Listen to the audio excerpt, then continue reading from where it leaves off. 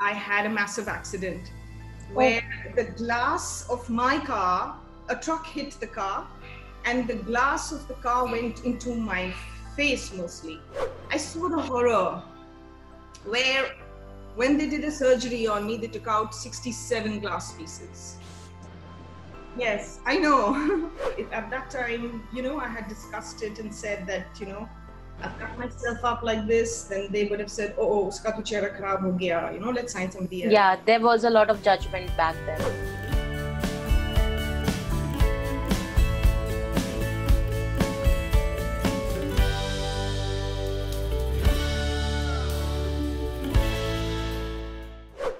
I think any 90s kid would remember what and who Mahima Chaudhry was. So yeah, I'm welcoming her on Pink Villa. Thank you, Mahima ma'am, for doing this because uh, I know you guys don't do so many interviews. Thank you for having me. So I really want to know, like, you know, people miss you around, miss having you around, seeing your work. Uh, what is keeping you away from showbiz right now? Uh, frankly, there isn't anything coming my way uh, that is worth doing. And uh, yeah, that is pretty much it. And uh, then you find another you know now with actors the good thing is that there is a new model uh, this wonderful model where you can be part of uh, uh, lives of the people who love you and you can do live events and do shows and events and promotions and endless things. So i've been keeping myself busy with that. And of course you have a child to raise and they say you need an entire village to raise a child. that. i'm a single parent. So it becomes all the more difficult yeah. No, but you know, when you started, when you made your debut, uh, correct me if I'm wrong, but Pardes was the was the debut yes. for you, right? Uh, you became an overnight sensation post that because मतलब आज भी लोग वो film के गाने हो या वो फिल्म की बात हो करते ही हैं yeah. uh, उसके बाद भी आपने काफी प्रोजेक्ट्स किए but do you think that somewhere the industry couldn't give you the kind of roles you really deserve Do you think, I think that? they gave me a lot. But yeah, I did have, you know, the lockdown period that you're having in your life right now, and you're, you're having to stay away from work. I had this soon after my first and second film. After I did Pardes, and the next film was Daag the Fire, where they, I had like a double role, which was a huge thing uh, at that time for a newcomer to do, and it was successful.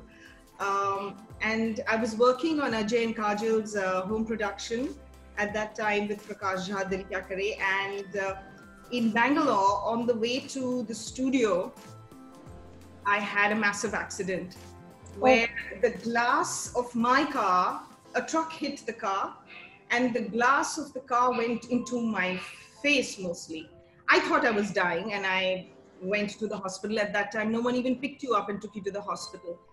But the thing is uh, that it's only after reaching the hospital much later when my mother came and Ajay came and they went to discuss that I got up and I saw my face in the mirror because I was like, why are they making such a fuss? Because I said, Prakash, let's go. Nothing happened. I'm fine.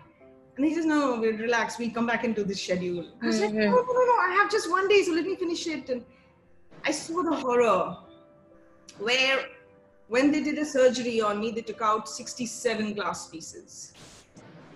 Yes, I know. so I had to, uh, they had to, uh, I, I, get teary when I talk about this even today because it was, uh, whatever it is, the face is, it was not about my career. It was about, you know, it's your, your introduction to anything in life that's relate to you and all of that. And I had to be with stitches, like staples, and stay indoors without sunlight. They blacked out my home. Um, windows and uh, I didn't look at myself. And uh, there was no mirrors in the house but there was no sunlight. Even lights which had uv rays i couldn't have in the house so that the marks don't stay. There were a lot of films that i had lined up for myself to be part of during that time which i had to let go.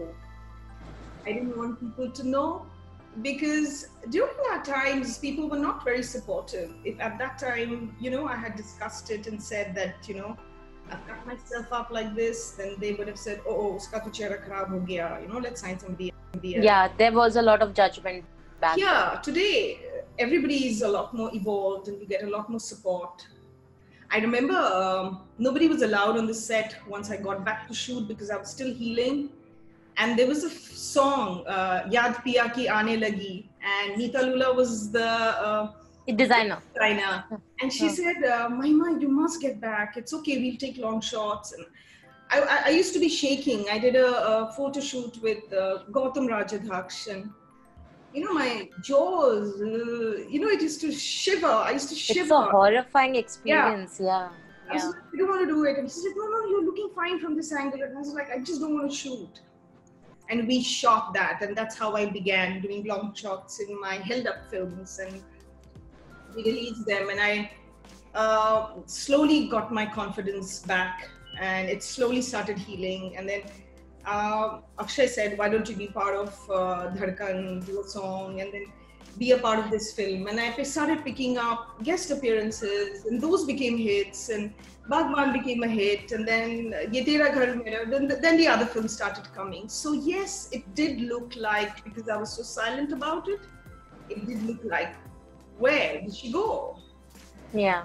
I was hiding, I was in lockdown. But I think I braved it out, and it was because of my family. And now, when I look after mummy, uh, I only think of that, that how she healed me. Not so much physically, but emotionally. And this boosted my morale and said that people face, uh, you know, greater challenges than this, and then you must go back to doing what you were doing you know i'm so glad that you did come back and you did you know you did not let that emotion suck you in and you know just just lose confidence because that is very very easy when especially when you're in showbiz. But uh, now a little ha- now little happy memory we'll talk about pardes we have to talk about it. Um subhash ghai ke sath aapne apni first film ki i mean you know he is known to be such a great director. Yeah. tell me a little tell me how did it all happen for you how did you sign that movie did you ever expect that it will become such a huge hit मतलब आज भी दो दिल मिल रहे हैं मतलब वो है वो सॉन्ग हर किसी की लिस्ट Yes. पे होता ही है In वो fact, I get called to about if I do about uh, a hundred events in a in a year, fifty are by those people who were uh, romancing during Pardes, and they're like, you know, ma'am, we want to ha- have you at our event because you know, do dil mil rahe hain is me and my wife. Because you know, at that time, romance chupke chupke hi hota tha. Yeah, So yeah. have that chupke chupke dil mil rahe. And uh, yeah, so that, that that film has really pulled me through my entire life, I must say. Even today, the first recollection uh, I have of my daughter, even thinking that I was an actor, was when she was five years old. And in school, she was part of the group that was dancing to I Love My India. And she came home and she said, Mama, I'm dancing to the song you sang. Like, no, Mama doesn't sing. Mama danced to that. yeah the little kids today obviously don't know I'm an actor. They haven't seen, you know.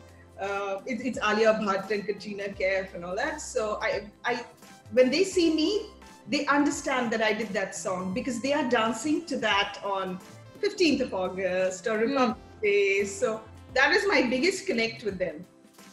ma'am because you were from the outside right how was how did the industry welcome you post the success of your movie was it कि suddenly everyone was like you know like industry में हो जाता है this is the new girl who has come on the block what were your kind of struggles that you went through Uh, that, that struggle I didn't have. Uh, my struggle began post my first film. if you know, you want to ask me what my struggle, my struggle began post my first film, post a success, post uh, you know jubilee of so many uh, weeks. So in the beginning, it wasn't uh, much of a struggle because I did a very very uh, good commercial, Pepsi commercial with Aamir and Aishwarya, so I got that recognition. And post that, I did uh, several other commercials, and I was one of the top two, three models uh, who were doing the best assignments. And then I did VJing, and that's where uh, Vinod Chopra uh, also uh, wanted to cast me for Kareeb, and I began training under him. And uh, we just hadn't signed in the dotted line. And uh, then he said, "You know what? I'm getting married right now, so I'm going to put the film on hold for for five months, and then post that you and uh, Bobby Deol will be in Kareeb." And I sang all the songs and uh, lip syncing, and I did all the rehearsals. I did all the dialogues. and then I got a call from Mr. Ghai's office, and I was like, "Oh, I'm not getting this film. Forget it." And uh, so this guy said, "Mr. Ghai would like to meet you tomorrow." So like, yeah, yeah, yeah. But I never went because I had heard that he had uh, tested a lot of uh, actors and um, even the Miss Universe and the Miss World. And I had no confidence. I was like, if they didn't stand a chance, there's no way. So I just didn't even go. And uh, hmm. around lunch break, they called and they said, Mr. Ghai is waiting for you in the office. We used to have those pagers, you know. There was no, uh, it was like, Mr. Ghai waiting for you in office and where are you? So I went to a, I was in a studio and I went and I said that, you know, are you sure he wants to meet me? Like, you know, they said, yeah, he's waiting. So I said, I don't want to insult because I'm going to be part of the industry. And later, when I meet him at a party, he's going to say, "Oh God, there comes that snob." yeah. So I'm literally dragging my feet. So when I went there, I, obviously I didn't want the part because I was not getting the part. And throughout my interview with him, uh, I was going on in English. I was like, I'm not going to get the part. And then he said, Show me some of your pictures. So I showed him pictures and he liked the look of uh, Kareeb actually. You know, the choti thing and all. He says, हाँ मुझे तो ऐसी लड़की चाहिए कल test के लिए आ जाओ एंड किसी और प्रोड्यूसर से नहीं मिलना तब तक जब तक मैं हाँ या ना नहीं करता एक महीने के बाद टेस्ट लूंगा and don't meet anybody till then Okay. Then I got caught. I was like, You know, I i don't understand why you're saying i can't meet any other producer or director and mm. i might already be halfway into a film you know so mm. can you test me tomorrow and tell me so then he tested me the next day. And Pandhari Dada, who just passed away very recently, he was my makeup artist. So, so, so many people become part of your uh, struggle. That day was a struggle for me because I had to be at uh, Vinodji's office at a certain time to uh, be there for a rehearsal. I also wanted to see whether I stood a chance since he was giving me a test. And uh, Mr. Ghai came very late. And, you know, after that, my nervousness was out of the window and he was like, He said, okay. So I guess because there was no nervousness, I killed it. Because later Shahrukh looked at, uh, looked at my film and everything and he says, you know, by far, I think your screen test was still better than your movie.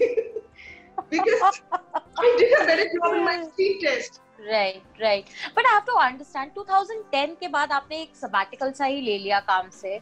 Was it a conscious decision because you wanted to give attention to your kids to your daughter at that point या फिर मतलब uh, at that time it was very clear that if an actor is married then there's no part for them in the industry mostly. Uh, i mean there are a lot of people who uh, braved that uh, much earlier than us also. Obviously like sharmila ji and uh, uh, lots of them rekha ji and shabana ji and all that they continued with their whatever. But just generally it was like that that oh now she's getting married you know whether it, it was with me or whether it was with karishma or whether, like mostly it was considered like that that okay you know now it's time for them so i really didn't have any hope that but i was very keen to like start a family and i was in that zone so i was not thinking okay now what film do i do it was like no this is a great part of my life and yeah, okay, this is happening. If something came along, I did do shows, I did do television, uh, that uh, judging and things like that.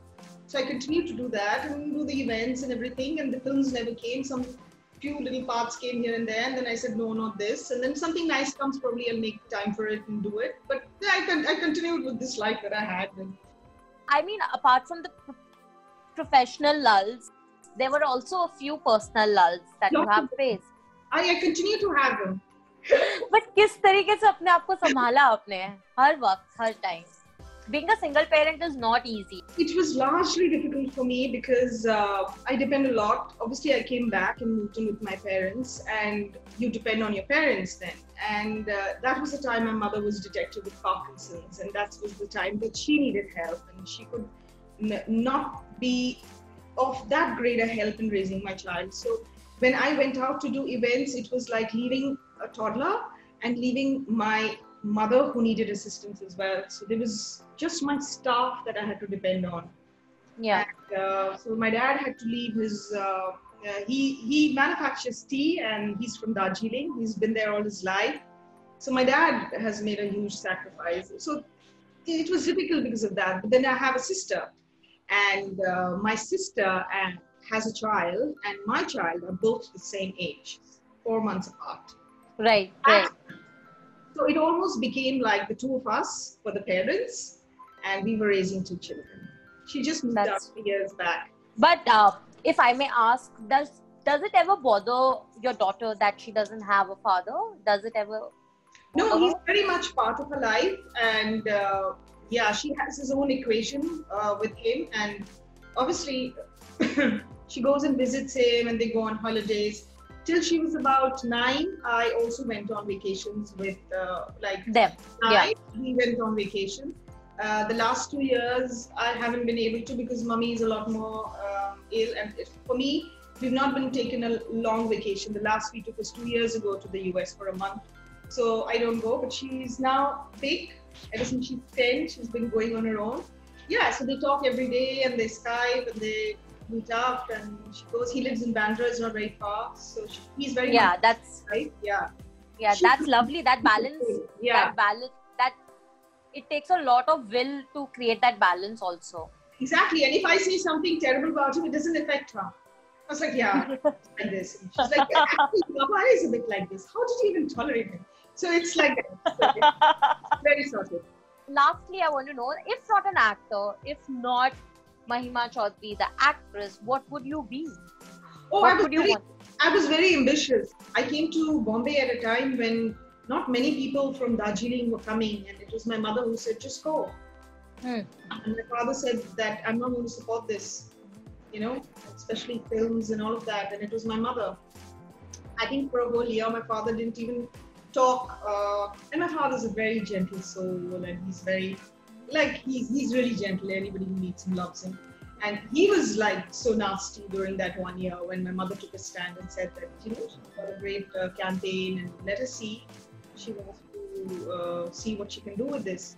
And I was a very good student, and my teacher said that, oh, we're expecting her to top the university college. Why are you letting her go? And glamour doesn't last forever. And I took a chance and I came. So I was a good student. I was very diligent. I, yeah, I was very good in sports. I was games captain. So whatever opportunity I got, I used to grab it. I was like, okay, let me do this great. Let me do this great. Let me study hard. Let me come first.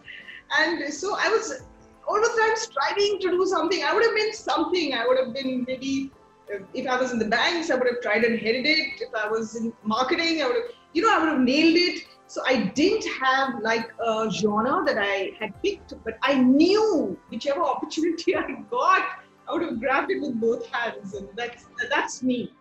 Even today, even today, there were no good films coming, and I was like, yeah, I'll do events, and then you know everybody teases me as being the queen of events, and but I just enjoy it. I love being amongst people, and you know, I'm, I'm No, but uh, but I'm sure now with this, uh, more and more opportunities will also come your way because the industry has opened up and there are good roles, better roles today being offered.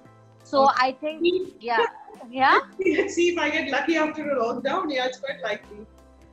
I am hoping that you do because I would love to see Yeah. you back on screen very, very soon, hopefully with something very good. Uh, so yeah, thank you so much, Mahima. Thank. Wonderful It was a pleasure. Yeah. It was a pleasure. Thank you Stay home and so stay much. safe.